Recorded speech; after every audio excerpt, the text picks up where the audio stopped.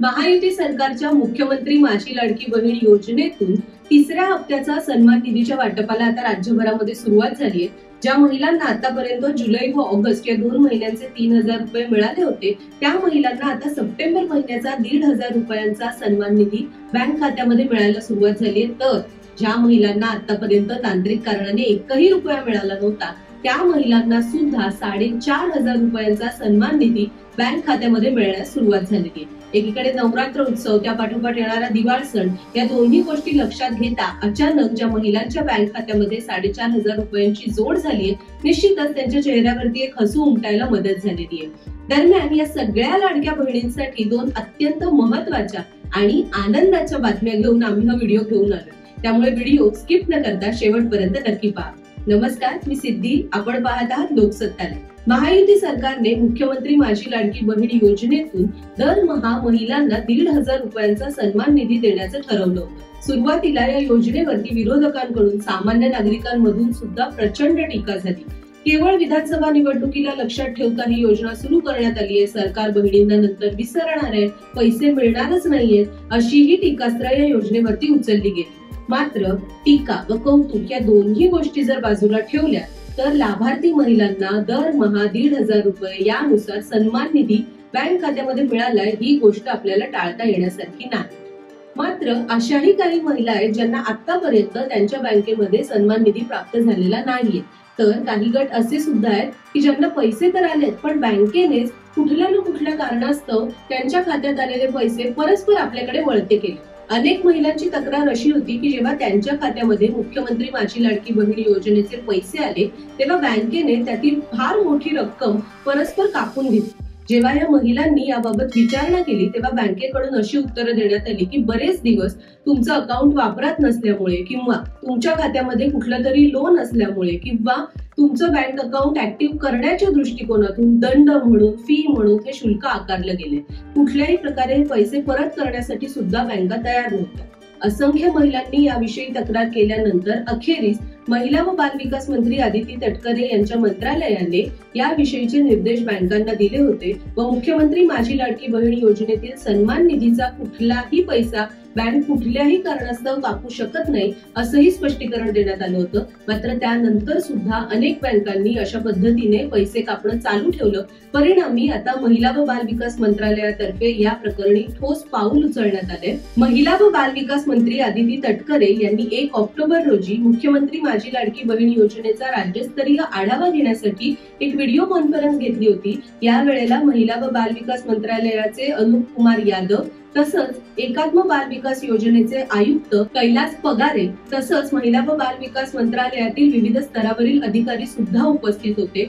यावेळी या व्हिडिओ कॉन्फरन्सिंगच्या वेळी अदिती तटकरे यांना असं सांगण्यात आलं की लाभार्थी महिलांच्या बँक खात्यामधून मिनिमम बॅलन्स नसल्याचा दंड म्हणून ईसीएस मॅन्डेट रिटर्न म्हणून चेक रिटर्नचं शुल्क म्हणून मुख्यमंत्री माझी लाडकी बहिणी योजनेचे जो सन्मान निधी आहे तो परस्पर बँकांतर्फे कापून घेतला जातोय आणि सरकारने निर्देश देऊनही हे पैसे बँका परत करत नाहीयेत.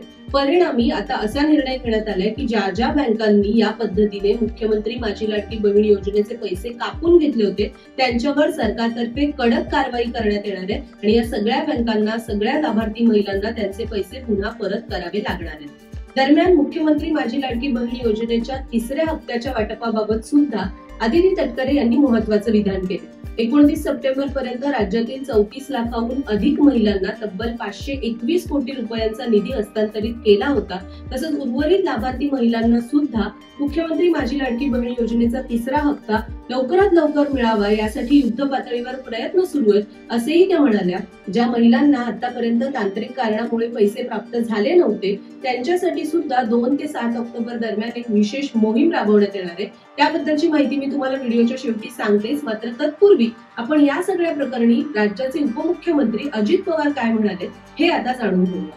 लाडकी बहिणीला पहिले तीन हजार दिले आता सप्टेंबरचे पैसे आले. आज मी तुम्हाला सांगतो ऑक्टोबर आणि नोव्हेंबरचे पैसे दहा ऑक्टोबरच्या आत भाऊबीजेची ओळणी माझ्या बहिणींच्या खात्यामध्ये जाणारे हा शब्द मी तुम्हाला देतो. बहिणींनो काळजी करू नका. हा भाऊ तुमचा तुमच्या पाठीशी आहे. दरम्यान राज्याचे उपमुख्यमंत्री अजित पवार यांनी म्हटल्याप्रमाणे दहा ऑक्टोबर पर्यंत ऑक्टोबर व नोव्हेंबर अशा दोनही महिन्यांचा सन्मान निधी महिलांच्या खात्यामध्ये येण्याची शक्यता आहे. त्यासाठी सरकार प्रयत्न करत आहे आणि खरोखरच जर दहा ऑक्टोबर पर्यंत भाऊबीजेची ओवाळणी या स्वरूपात हा सन्मान निधी प्राप्त होतोय का हे पाहण्यासाठी आपल्याला काही दिवस वाट पाहावी लागणार आहे.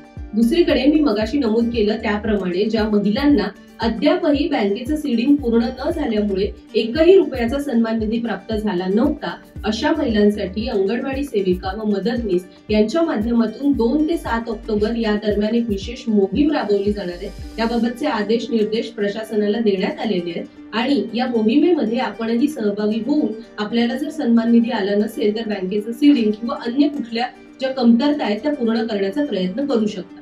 त्यामुळे आपणही जर आपल्या सन्मान निधीच्या प्रतीक्षेत असाल तर लवकरात लवकर आपल्या जवळच्या अंगणवाडी केंद्राला आवर्जून भेट द्या. जाता जाता व्हिडिओच्या शेवटी एक छोटीशी टीप आपल्याला द्यायची होती की यापूर्वी आम्ही केलेल्या व्हिडिओवरती अनेकांनी कमेंटमध्ये असं लिहिलं होतं की जॉईंट अकाउंट असेल तर पैसे येणार आहेत की नाही आहेत याबाबत त्यांच्या मनात संभ्रम आहे. या व्हिडिओच्या माध्यमातून तोही आपला प्रश्न सोडवण्याचा हा छोटासा प्रयत्न करते.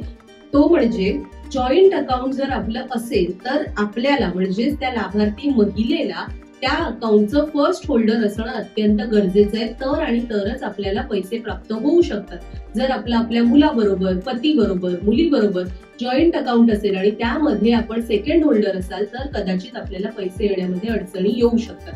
त्यामुळे आपलं जॉईंट अकाउंट असेल तर सर्वात आधी आपलं वैयक्तिक खातं आपण सुरू करायला हवं किंवा त्या जॉईंट अकाउंटमध्ये आपण फर्स्ट होल्डर व्हाल अशी तरतूद करायला हवी. या अकाउंटचं बँक सिटिंग पूर्ण झाल्यानंतर आपल्याला आपल्या लाडक्या बहिणीचा सन्मान निधी प्राप्त होण्यास मदत होऊ शकते व्हिडिओ आवडला असेल तर लाईक करायला विसरू नका. आपल्या प्रतिक्रिया कमेंटमध्ये कळवा. आपल्या मनातील प्रश्न सुद्धा कमेंटमध्ये नमूद करा. जेणेकरून आम्ही लवकरच आपल्यापर्यंत त्याची उत्तरं घेऊन येण्याचा प्रयत्न करू. व्हिडिओ अधिक अधिक शेअर करा आणि असेच नवनवीन अपडेट्स पाहण्यासाठी लोकसत्ता लाईकला सुद्धा आवर्जून सबस्क्राईब करा. पाहत राहा लोकसत्ता लाईक.